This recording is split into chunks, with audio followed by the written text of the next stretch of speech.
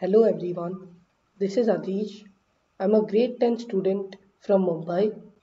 So today's problem is called piece of cake and as the problem name suggests, the difficulty level of this problem is cakewalk. The only prerequisites you need to know to be able to solve this problem is a frequency array. So let's look at the problem statement.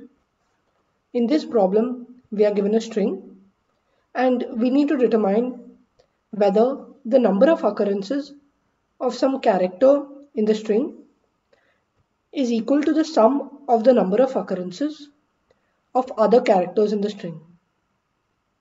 So for example, let's say that our string is ACAB. Then if we choose the character to be A, then we realize that the number of occurrences of A is 2 and the number of occurrences of the remaining characters is also 2 so since 2 is equal to 2 we print yes as the output.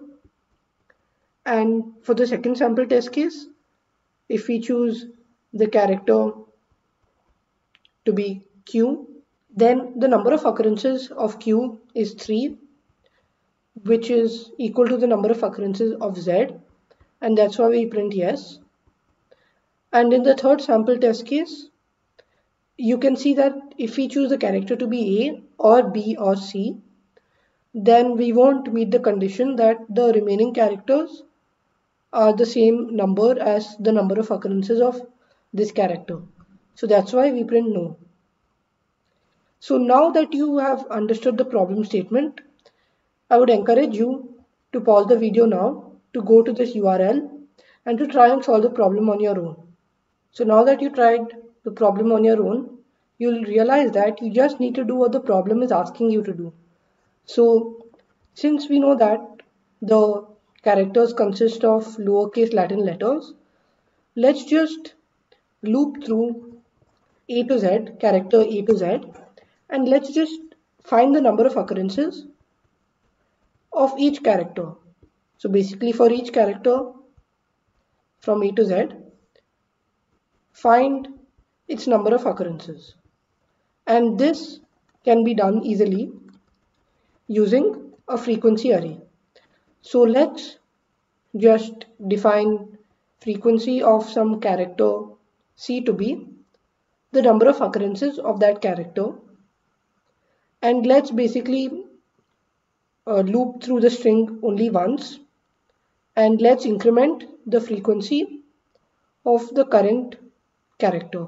So what we'll essentially do is for all i going from 0 to n minus 1 where n is the length of the string we'll basically do frequency of the ith character plus plus so we'll basically increment the frequency of the ith character and then in the end we'll just run this loop for all characters from a to z if the frequency of that character C is greater than or is equal to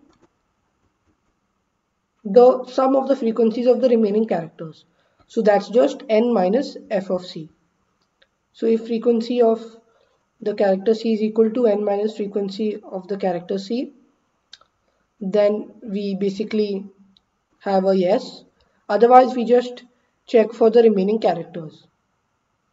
So now that you understood the solution and you got a basic idea of what we need to do, you should pause the video now and try to implement it on your own. Then I'll show you the code. So now that you've got a chance to write the code on your own, let's look at my code. So in my code, I do what the problem is asking me to do.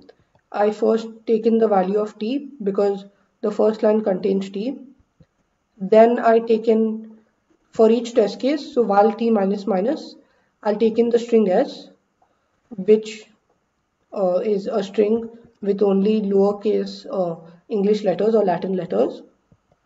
And I basically keep n to be the size of the string. I have a frequency array f which is the frequency of each character. And the trick which I do is I use s of i minus a in the loop to keep all the frequencies or, or, or to keep all the character values in the range 0 to 25. So then I basically increment that character number which is actually converted to a new number in the range 0 to 25. So I increment that by 1 and then I basically check if there is any frequency, if there's any character from 0 to 25 such that the number of occurrences of that character which is given by fi is equal to the number of occurrences of the remaining characters which is given by n minus fi. So if any such character appears, is this true and basically we print yes in that case. Otherwise we print no. So another way to write this is just if is cout yes, otherwise cout no and we need to print everything uh, on a new line. So that's why backslash n and this concludes the code. So as you can see the time complexity for this code is just n because we are doing a loop of n times and plus 26 because um, we are doing a loop uh, which runs 26 times so the time complexity is O of n where n is the length of the string and since the length of the string is up to 50 and there are only 1000 test cases so 50,000 will easily work in one second. And that's why our code should not give any TLE. And now let's just submit this code to see that it gets accepted.